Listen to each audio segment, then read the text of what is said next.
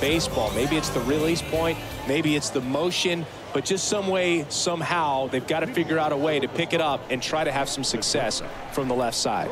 So just about set now, and the batter will be the shortstop, Ramon Torres.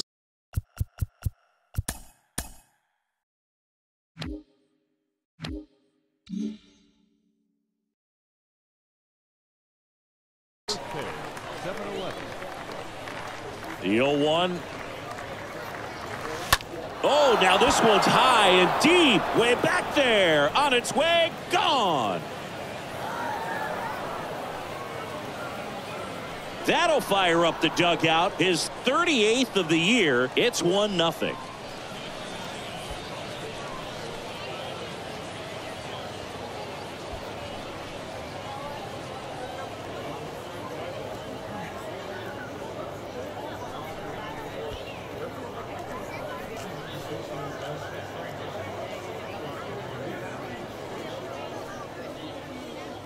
Well, we see this so much more today. Lineups with Pop in the leadoff spot, and it really puts the pitcher in a tough spot out there where he has to execute right away. You can't just get over a couple of strikes to settle in, get comfortable, because at the plate, that guy's looking to do exactly what he just did. Start the game off with a huge bang.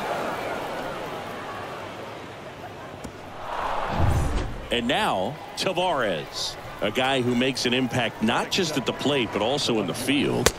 First offering and it just misses. Okay, from here.